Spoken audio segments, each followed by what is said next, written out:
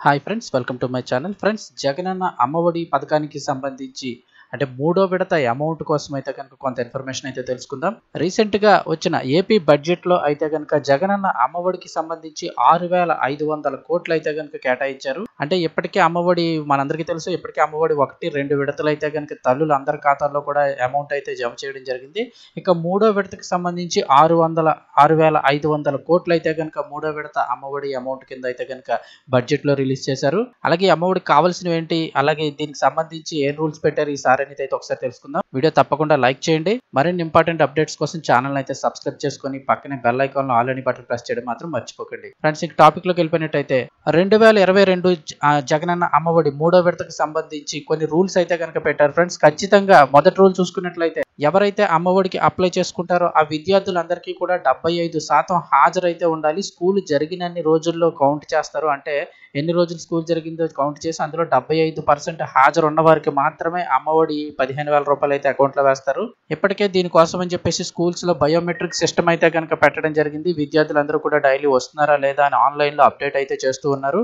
ఈ రూల్ నుంచి అయితే కనుక దివ్యాంగులు ఎవరైతే ఉంటారో వారిని అయితే మినహాయించారు. డెబ్బై ఐదు శాతం హాజరు నుంచి. అలాగే మరి మరొకటి కంపల్సరీగా అబ్జర్వ్ చేసుకోవాల్సిన అమ్మఒడికి సంబంధించి ఖచ్చితంగా పాటించవలసిన రూల్ ఏంటంటే ఆధార్ కార్డు అప్డేట్ అయి ఉండాల్సి ఉంది.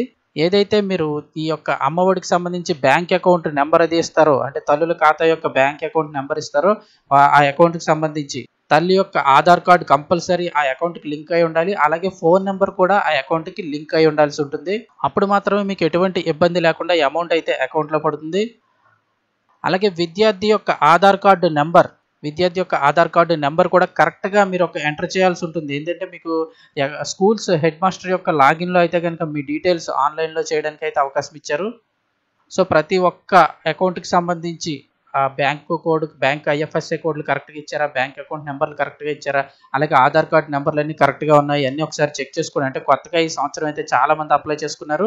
సో అటువంటి వారందరికీ కూడా ఈ అకౌంట్ నెంబర్లు ఐఎఫ్ఎస్ఐ కోడ్లు అన్ని కూడా కరెక్ట్గా ఉండాలి. గత సంవత్సరం రాని వారికి కూడా మళ్ళీ ఒకసారి రీఅప్లై చేసుకునే అవకాశం ఇచ్చారు. సో అటువంటి వారందరూ కూడా మీ పిల్లలు చదివే స్కూల్ హెడ్ మాస్టర్ లాగిన్ ద్వారా కానీ లేదంటే మీ దగ్గరలో ఉన్న గ్రామ వార్డు సచివాలయాల ద్వారా కానీ మీ యొక్క డీటెయిల్స్ అయితే కనుక ఒకసారి చెక్ చేయించుకోండి. అన్ని కరెక్ట్గా ఉన్నాయో లేదా వాళ్ళు అయితే చెక్ చేసి చెప్తారు. ఒకవేళ ఏదైనా మిస్టేక్ ఉంటే దానికి సంబంధించిన పత్రాలు ఇచ్చినట్లయితే కనుక దాన్ని తిరిగి అప్డేట్ అయితే చేయడం జరుగుతుంది. ఇప్పటికే అర్హుల లిస్ట్ అయితే కనుక వెరిఫై చేస్తూ ఉన్నారు. అన్ని అకౌంట్ నెంబర్లు అన్ని కరెక్ట్గా ఇచ్చారా లేదా ఈ అర్హుల లిస్ట్ అయితే వెరిఫై చేస్తున్నారు. ఇంకా ఫైనల్గా చూసి హాజరు శాతం మాత్రమే డెబ్బై ఐదు శాతం హాజరు ఉన్న వాళ్ళకి ఈ అమౌంట్ అయితే రిలీజ్ చేస్తారు. ఇక ఎప్పుడు ఈ అమౌంట్ వేస్తారు అని చూసుకున్నట్లయితే జూన్ నెలలో అయితే కనుక ఈ అమౌంట్ వేయడం జరుగుతుంది. గత రెండు సంవత్సరాలు అమ్మఒడైతే అయితే జనవరి నెలలోనే వేయడం జరిగింది. రెండు వేల ఇరవై సంవత్సరం జనవరిలోనే వేశారు. ఇరవై ఒకటి సంవత్సరం కూడా జనవరిలోనే వేశారు. ఇక మూడో విడత అమ్మఒడి మట్టుకు ఖచ్చితంగా జూన్లో అయితే వేస్తామని గతంలోనే అనౌన్స్మెంట్ అయితే చేస్తున్నారు దీనికి సంబంధించి ఇప్పుడు బడ్జెట్లో ఆరు వేల ఐదు వందల కోట్లు అయితే రిలీజ్ చేశారు. చాలా మంది అయితే కనుక కామెంట్ అయితే చేస్తున్నారు. మార్చి నెలలో వేస్తారు ఏప్రిల్ నెలలో వేస్తారని చెప్తున్నారు అనేసి. సో ఎట్టి పరిస్థితుల్లో మార్చి ఏప్రిల్లో వేసే అవకాశం లేదండి. ఎందుకని చూసుకున్నట్లయితే స్కూల్ వర్కింగ్ డేస్ కంప్లీట్ అయ్యేసరికి ఏప్రిల్ నెలాఖరికి అయితే కనుక స్కూల్ వర్కింగ్ డేస్ అయితే కంప్లీట్ అవుతాయి.